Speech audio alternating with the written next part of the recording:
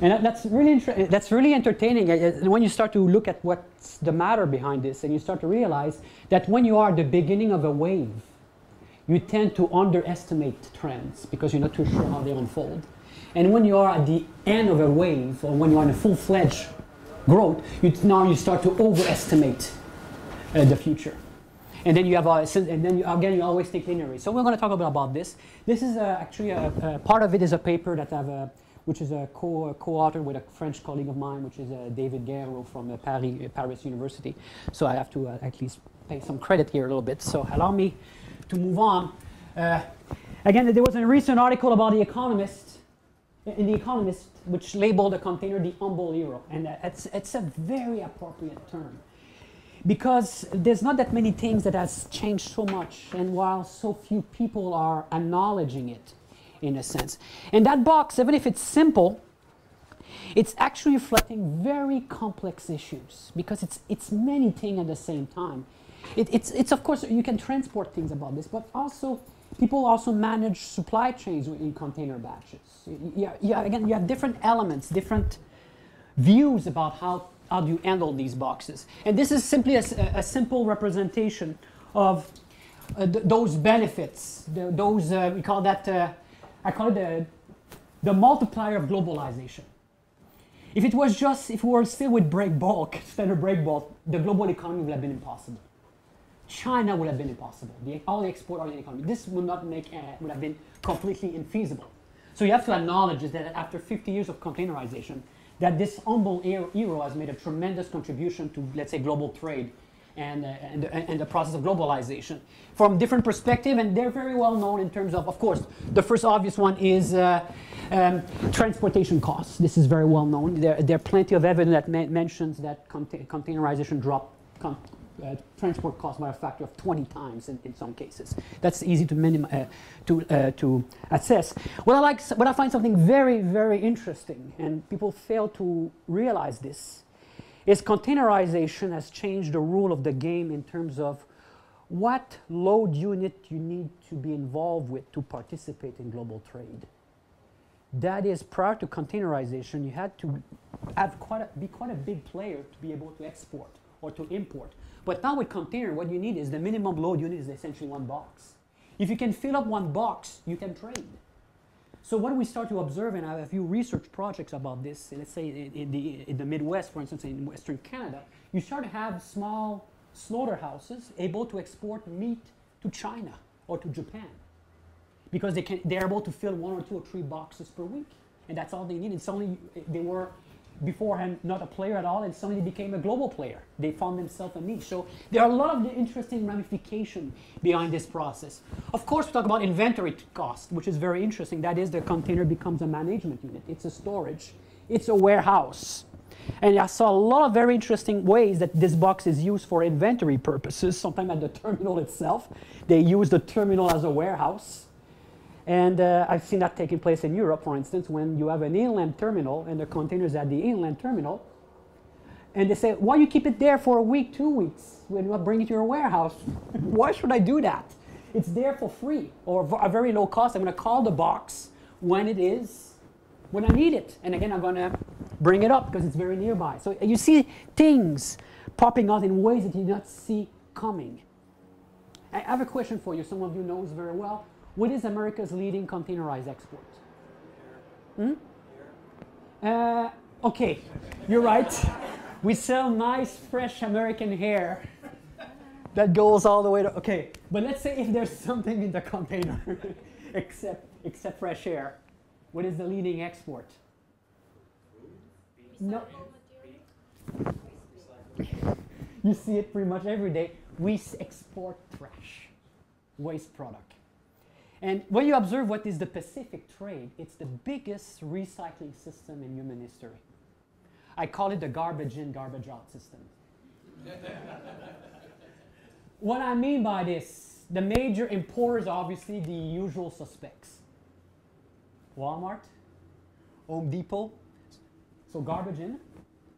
Those products, those, I'm sorry, yeah. try, try to entertain the audience here a little bit in the evening. Uh, it's my jokes are funnier when you have a couple of glasses of wine. So, Enjoy.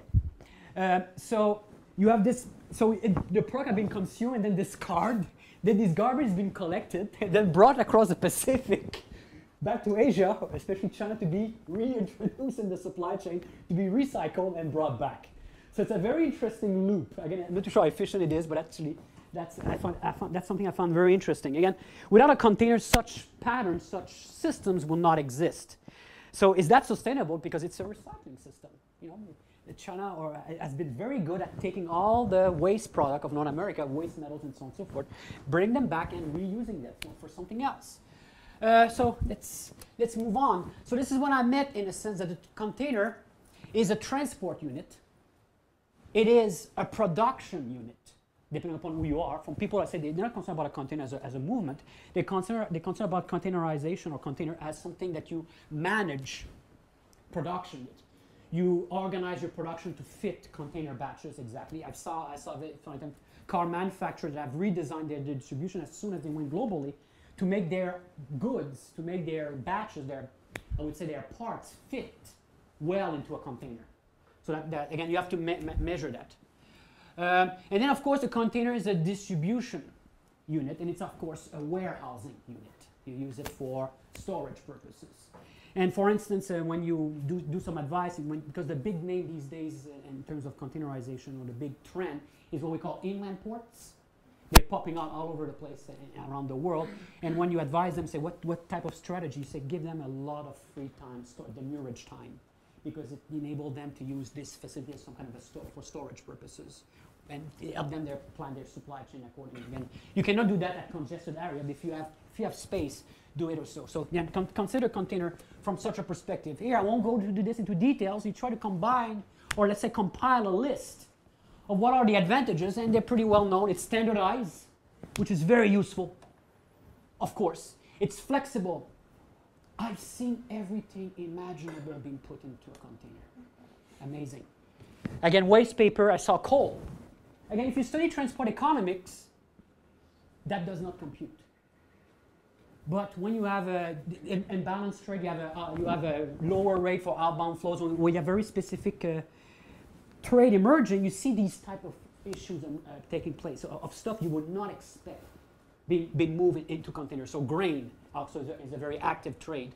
Uh, obviously, we talk about cost, speed, warehousing, security. All these issues have, have pretty well to the diffusion of the container as a, as a transport and supply chain management unit. Again, this is stuff coming straight from our website. However, there are plenty also of challenges related to that damn box. That is,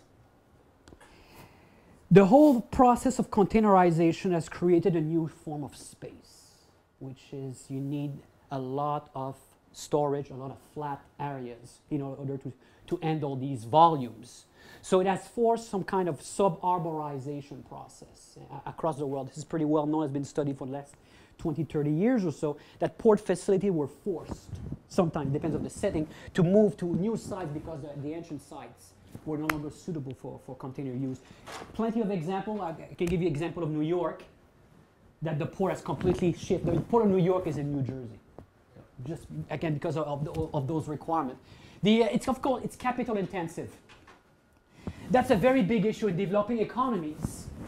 Uh, and this brings the, point, the, the, uh, the, uh, the growing importance of what we call global terminal operators. That is, since it's a capital and knowledge and skill specific uh, industry, you, you, there are a lot of firms that have emerged which are specializing into the handling of those or the management of those terminal facilities, and they're bidding for concessions all over the world to establish themselves to, uh, because they come with deep pockets often, and they have a very interesting, uh, can I say, like global perspective about the management of their assets. Some of them are backed by pension funds. Some of, back, some of them are backed by sovereign wealth funds. And we did recently a study about all the global terminal operators. We built a database about them, and we're shocked how much they were completely. There were four players completely globalized, controlling something like 35 to 40 percent of the global trade by about four terminal operators were, were assets, they were, they, were, they were positioned, and they had, a, they had a global strategy. And they were, when they were willing to invest, they invest. And they, if they want, they're going to build a port out of nowhere if it fits their strategy. I get, for example, recently, I think uh, the port uh, in uh, Costa Rica, the port of Limón Moín, will be built by APM, which is a, let's say a parent company of Maersk, which is the world's largest shipping company. And why they built that port? Simply because they want to ship bananas to the United States. Simple. It cold chain logistics. Build a port mainly for that form of logistic. And again, when it fits their strategy, they're going to provide the capital. So many developing countries uh, feel, uh, feel a little bit uneasy because most of the time ports used to be deeply regional, deeply national issues under the control of, local or national interests. But these, these players coming in the game are, are shifting the dynamics, I would say, quite substantially. Uh, this is the, one of the biggest problem about containerization. It's an unsolvable problem. It's the imbalance in flows.